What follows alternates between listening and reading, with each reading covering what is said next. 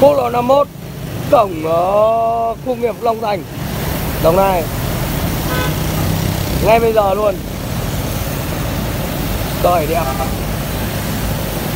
người đông.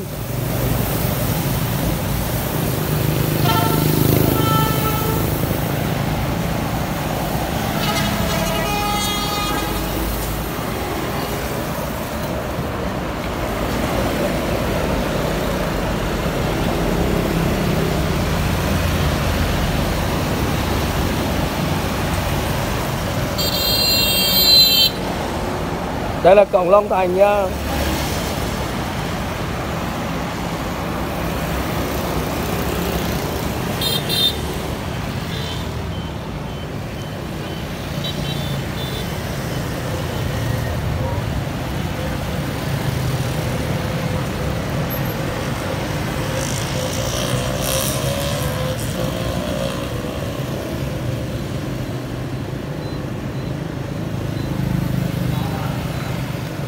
Đang ở quán ờ, sửa xe nhánh ba